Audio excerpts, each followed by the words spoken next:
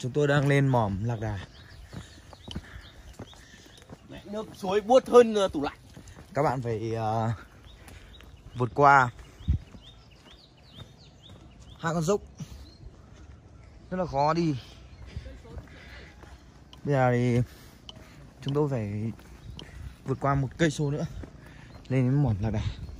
Chúng tôi sẽ lên ờ, rừng để bắt vợ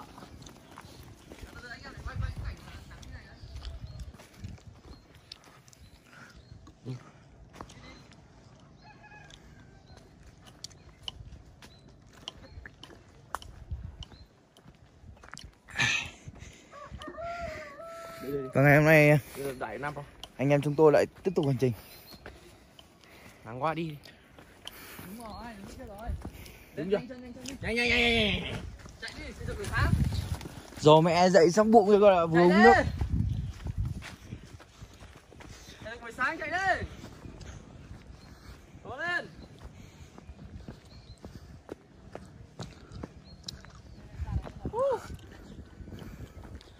Chúng tôi đã đến mỏm lạc đà Một cảnh tượng không thể ngờ được Đây, Quá xuất sắc đây là con Đây. lạc đà.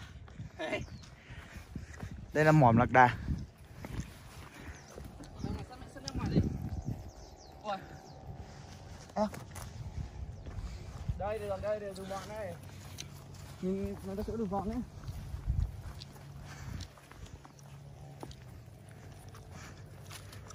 đúng như kêu anh Không, lên cao, lên cao.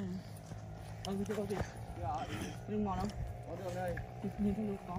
Đứng đây nó đẹp thì chả đứng này ở bên này vướng mẹ hết cây rồi Nó ở đâu đó, chắc là phía kia đấy, đúng không? Nhìn nó mò mình đi.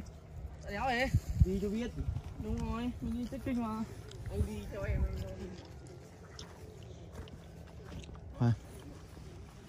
mọc rêu luôn các bạn Chắc là tí nữa nó tan cái chỗ kia. Đi đi đi. ờ nó phải tan bên này thì nó mới đều này nào anh tập bên này này nó mà hết được như bên kia đã Đi đi đâu? Đây là đây đây cái cháu mèo to này à.